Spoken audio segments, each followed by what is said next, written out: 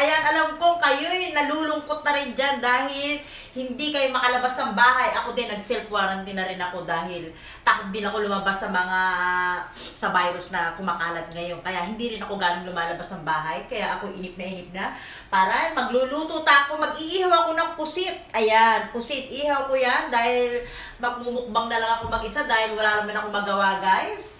Ayan. Eh kayo, ah, kumusta na kayo dyan sa Pilipinas? Kumusta naman kayo dyan? Ang ating lagay dyan sa Pilipinas, mga guys. Nako, alam kong hindi kayo makalabas dyan sa sa atin. Napakalungkot ngayon ng buhay.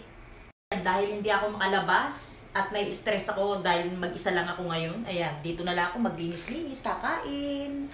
Ayan, para ilibang ang sarili. Ayan, ang dami kong labahin. Ayan, mga aking mga labahin. Ito ang aming lagay ng mga damit dito sa bahay. Ayan. Ayan siya. Ayan. Dito siya. Ayan, ang daming mga nakatambak na mga damit, guys. Ayan, dito muna tayo. At nag-iihaw ako ng pusit para sa aking lalapangin ihaw ko, guys. Hihiwain ko na. O, okay na yan. Luto na yan. Bahala na sa dyan. Talo-talo na yan.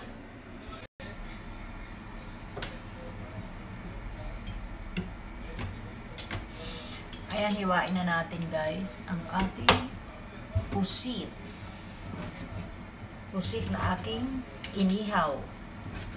Dahil ako lang naman mag-isa ngayon. Nakaka-stress din sa loob ng bahay. Diyos ko, nag-warranty na rin ako mag-isa kasi nakakatakot din lumabas. Hindi na rin ako lumabas. O, ayan na siya. O, ayan.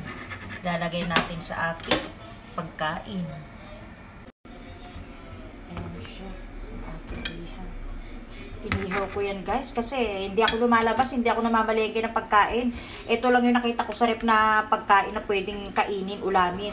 Puro sardinas na kasi ako. Eh, natutuyot na ang aking ano sa sardinas. Diyos ko, grabe. Ayan guys, meron ako ngayon pusit. Pusit siya, tapos ito yung aking sausawan at ayan, may pansit pa ako natira yung kaninang tinanghalian ko. Ito naman yung hapunan ko ngayon. Ayan guys, kain na tayo. Diyos ko, itaas natin ang paa. Ayan, para relax ang pagkain natin. Ayan, ito na yung inihaw ko ng pusit kanina. Nako, alam kong inip na inip na rin kayo dyan sa bahay nyo dahil bawal lumabas, wala tayong mapasyala.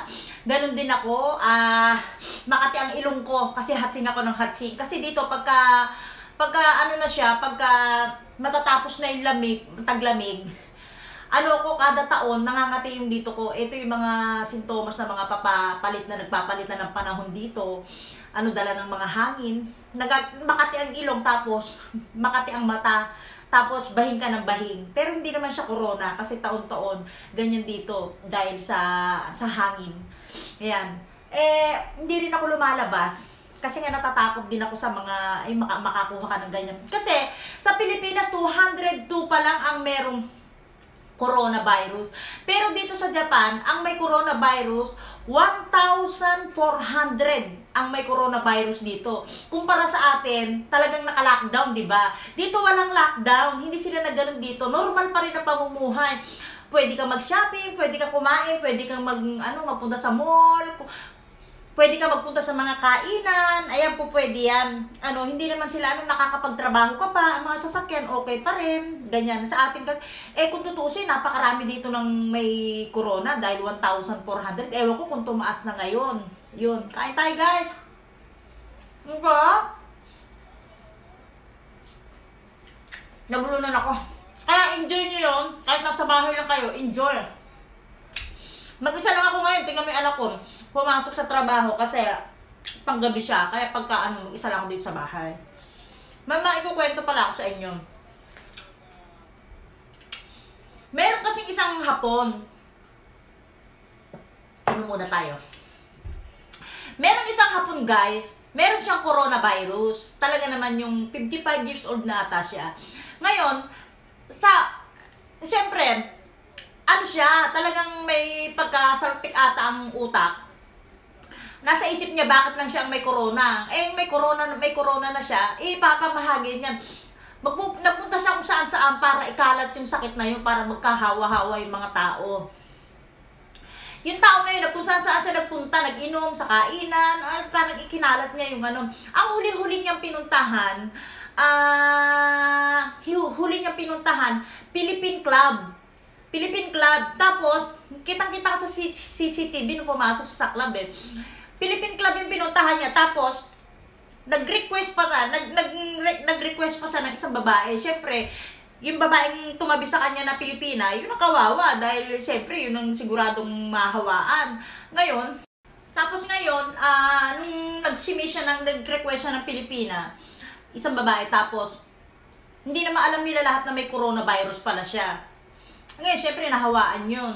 Nung, nung, na, na, pero nahuli na yung hapon na yun eh. Nahuli na siya, kababalita lang kagabi, yung hapon na yun na nagpakalat. Pero yung club na yun, nahawaan halos lahat. Yung mga ibang babaeng hindi ganong nakatabi, naka ano sila, na, na two, two weeks ata silang chinecheck. Pero yung isa talaga nakatabi sa kanya, yun yung talagang nahawaan. Grabe, kasama ng ugali. Kinalat niya talaga.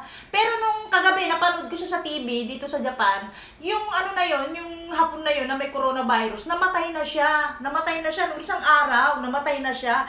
Diyos ko, bago pa na siya namatay, kinalat niya pa yung coronavirus. Kailangan magdamay, nagdamay-damay pa siya. di ba Nakakatakot yung mga ganun na ano ng tao, di ba Meron ka na, gusto niya pang ipahawa sa iba, ikinalat-kalat niya pa. Grabe, nakakatakot. Kaya minsan nakaka- natakot na rin ako lumabas. Baka mamaya hindi mo alam kung sino yung katabi mo dyan na may coronavirus, di ba guys? Kaya dyan sa atin, importante talaga naghuhugas ng kamay. Every day. Wa Warren, may nahawakan ka sa labas, huwag mo munang ihawak sa mukha mo, basta hugasan mo muna yung kamay mo. Komportable na tayo doon kahit wala tayong alcohol. Importante, nakahugas tayo ng kamay. At least, ano tayo, ah, hindi tayo hindi tayo ano maano ng virus kasi importante malinis ang kamay. Kaya kayo dyan, ako guys, alam kong inip inip na inip na kayo sa bahay nyo. Kaya eto ako, makmukbang na lang mag-isa kasi grabe ang lungkot talaga dito sa Japan. Pero bukas lalabas ako, pipilitin kong mamasyal kasi mahirap din yung nasa loob ng bahay, hindi ka nahanginan. Talaga namang madidepress ka, lalo na yung mga natigil sa trabaho dyan sa atin sa Pilipinas. Ang sarap!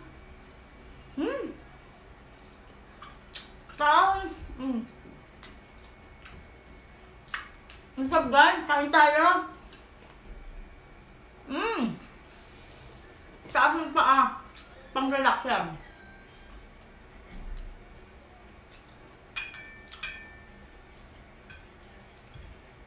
Kayo, anong ulam nyo dyan? Dito, walang lockdown dito. Okay lang dito sa amin. Kaya bukas makakapasyal pa rin ako sa labas. Hmm, sarap. Sarap dyan.